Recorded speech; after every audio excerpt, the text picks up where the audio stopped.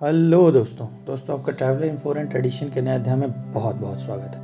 दोस्तों, आज हम मेट्रो न्यू परियोजना क्या है और यह कहाँ आने वाला है, उसके बारे में हम जानेंगे। दोस्तों, केंद्र सरकार टीयर टू और टीयर तीन नगरों हेतु कम लागत वाली रेल प्रणाली मेट्रो न्यू परियोजना के मानक को मंजूरी देने का प्लान बना रही है।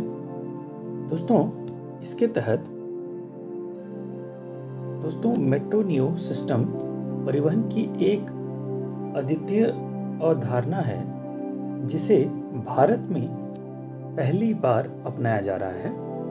दोस्तों, यह एक कुशल, जिसे हम एमआरटीएस बोलते हैं, जो मास रैपिड ट्रांजिट सिस्टम है। जो भारत के टीयर टू और टीयर थ्री नगरों के साथ साथ उपनगरीय यातायात की ज़रूरत को पूरा करने के लिए आदर्श रूप से उपयुक्त है। इसके अलावा दोस्तों, यह अत्याधुनिक, आरामदायक ऊर्जा कुशल न्यूनतम ध्वनि प्रदूषण और पर्यावरण के अनुकूल मेट्रो प्रणाली है। दोस्तों, यह परंपरागत मेट्रो की तुलना में यह काफ़ी हल्की तथा छोटी होगी। इसकी लागत परंपरागत परिवहन प्रणाली का लगभग लगभग 25 परसेंट ही है।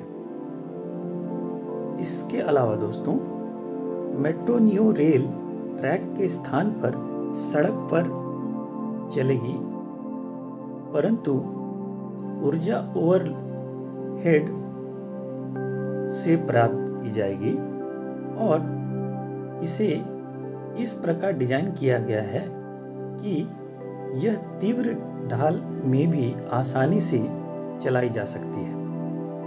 दोस्तों, भविष्य में ट्रैफ़िक डिमांड के अनुसार सिस्टम को इंक्रीमेंटल कॉस्ट इनपुट के साथ लाइट मेट्रो में अपग्रेड किया जा सकता है और आने वाले समय में यह सड़क यातायात में भीड़ भड़ावा और शोर शराबा वाले जो परेशानियाँ आती हैं लोगों को, इससे काफ़ी निजात भी दिलाएगा। दोस्तों, अगर हम भारत में मेट्रो नियो के प्रोजेक्ट की बात करें तो महाराष्ट्र के नासिक और तेलंगाना के वारंगल जिलों के लिए मेट्रो नियो प्रणाली पर योजना बनाई जा रही है और वारंगल के लिए योजना अभी तक पूरी तरह से तैयार नहीं है।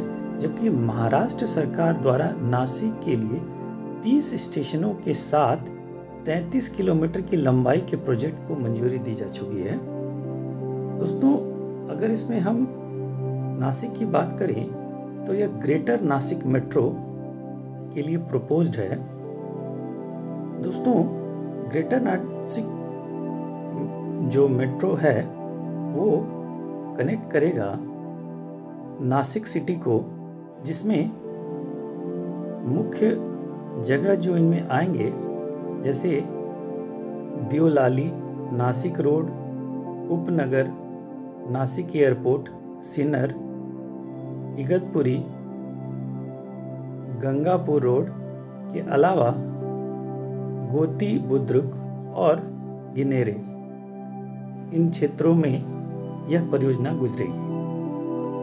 दोस्तों अगर ये इसकी मैं बात करूँ कि इस प्रणाली में क्या क्या चीज़ें आएँगी तो दोस्तों, यह प्रणाली जो है, वो महाराष्ट्र मेट्रो रेल कॉरपोरेशन के अंतर्गत होगी। साथ में यह नासिक क्षेत्र में आएगा, जो नासिक महाराष्ट्र के अंतर्गत है।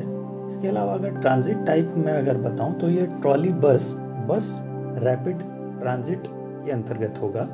इसमें लाइंस दो आएँगे। इसके अलावा स्टेशन लगभग तीस होंगे।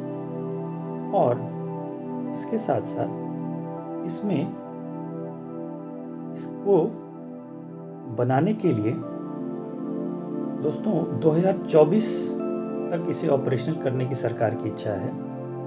और यह एमएमआरसी इसको अपने अंतर्गत रखेगी। और इसकी लंबाई लगभग 32 किलोमीटर की होगी। और एवरेज स्पीड लगभग इसमें 60 किलोमीटर प्रति घंटा के रफ्तार से दोस्तों चलाई जा सकेगी। जिसके लिए दोस्तों, महाराष्ट्र सरकार ने इसकी डीपीआर तैयार कर ली है और यह प्रपोज जो किया गया है पहली लाइन वो सरमक नगर, जो सतपुर वेस्ट से लेकर के नासिक रोड रेलवे स्टेशन जो कि ईस्ट में है उसमें पहली लाइन चलेगी, जिसमें लगभग सत्रह स्टेशन बनाए जाएँगे और इसकी जो लंबाई होगी दोस्तों, वो लगभग बाईस किलोमीटर की होगी। इसके अलावा दूसरी लाइन में अगर मैं बताऊँ तो जो प्रपोज है, वो गंगापुर रोड से लेकर के मुंबई, नाका, और इसमें दस स्टेशन आएँगे और इसकी लंबाई लगभग ग्यारह किलोमीटर की होगी।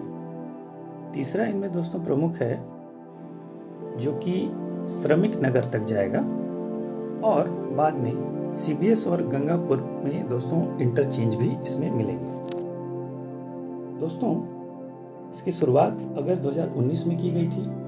2020 में डीपीआर का काम हुआ था और 2020 में ही डीपीआर का काम समाप्त हुआ और इसके अलावा इसमें दो बानवे करोड़ रुपए नासिक मेट्रो की तरफ़ से 2021 जनवरी में इसे अवार्ड किया गया है।